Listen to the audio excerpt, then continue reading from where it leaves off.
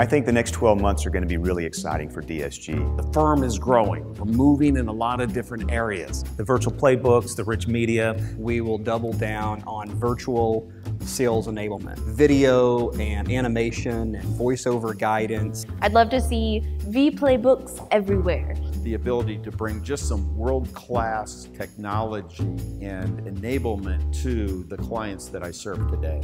It's been exciting from a consultant standpoint to see how busy everyone is and the new directions that we're going. I'd look to see uh, for DSG to grow even more. I, am really excited about where we can go in, in, in helping our clients achieve better results in, in, the whole domain of sales enablement. I want to uh, successfully sell more projects, deliver more projects, um, uh, and bring increased growth and revenue to DSG. So I really see the accounts that I'm working on now uh, over 12 months, next 12 months, they'll be hitting their numbers big time.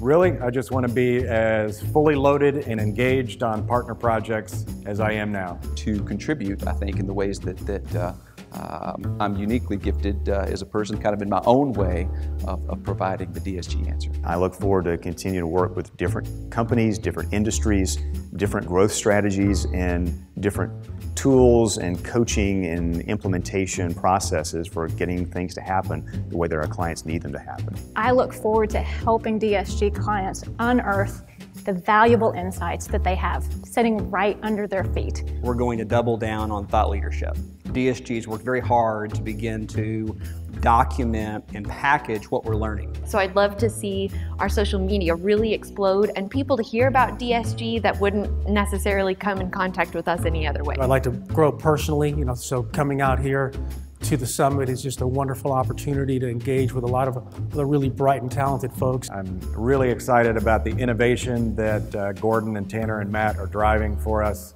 and uh, look forward to, to continued success in the future.